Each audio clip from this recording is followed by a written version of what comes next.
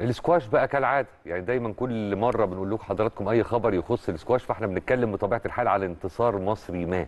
مبروك للبطل المصري كريم عبد الجواد التتويج ببطولة بيتسبرغ لرجال الاسكواش اللي استضافتها مؤخرا الولايات المتحدة الأمريكية واللي بتصل يعني إجمالي جوائزها إلى 75 ألف دولار. فاز كريم عبد الجواد في المباراه النهائيه على الإنجليزي مروان الشربجي بنتيجة 3-0 في مباراة استغرقت 33 دقيقة وجاءت نتيجة الأشواط كالآتي 11 3 و11 8 و11 9 طبعا بالتوفيق ليه لاعبنا ومليون مبروك على هذا الإنجاز.